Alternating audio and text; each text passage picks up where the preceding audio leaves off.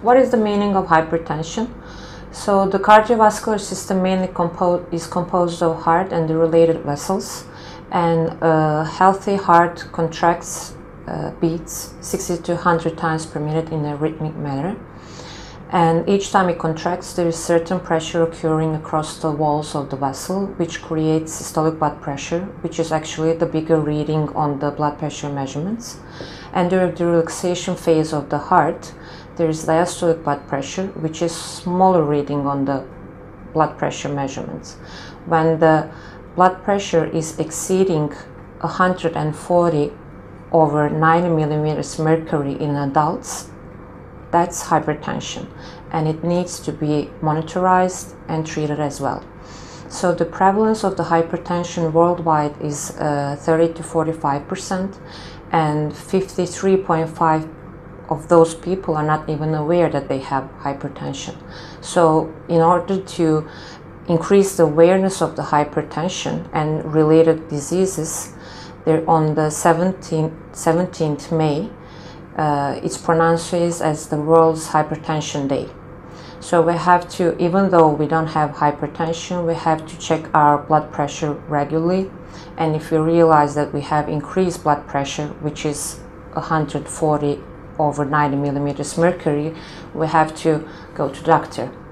So why is hypertension important? Because when the vessels and organs are dealing with increased pressure levels continuously, then there are some structural and functional changes that leads to irreversible and sometimes mortal uh, diseases.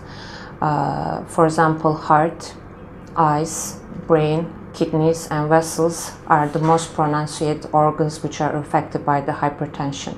In heart, we can observe cardiovascular, uh, coronary artery or peripheral uh, artery diseases, heart failures, increased tendency to arrhythmias, heart attacks. In cranium, in brain, we can see strokes, uh, cranial hemorrhages.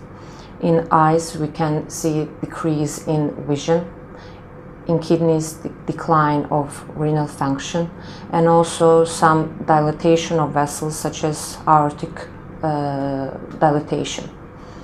Studies provide evidence that uh, there is direct relationship between hypertension and cardiovascular diseases. Every 20 millimeters mercury in systolic and 10 millimeters mercury in diastolic increase is actually doubling the risk of uh, stroke. Stroke is third leading cause of the death in worldwide, and after coronary artery disease and uh, cancers, unfortunately.